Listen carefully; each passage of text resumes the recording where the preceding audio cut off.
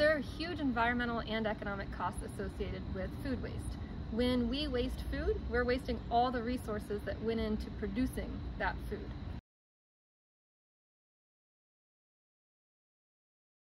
So from February 2021 until February 2022, we saw that there was a 280% increase in household food waste. Food at home prices increased about 8.6% uh, during this time frame.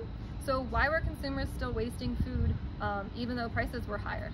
Well, we note a couple trends. So the first being that people were eating out more. Um, they were kind of unplanned eating out events and that threw a wrench maybe in their meal planning and their, in their food management for the week.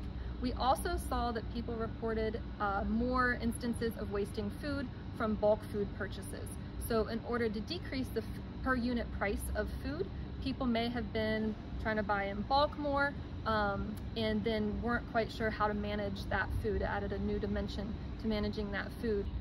So consumers can adopt a lot of small habits to help reduce their food waste, especially with food management behaviors. Um, these are very difficult to do though, so I think that we need to have a system set up so that consumers have the proper tools to be able to do this.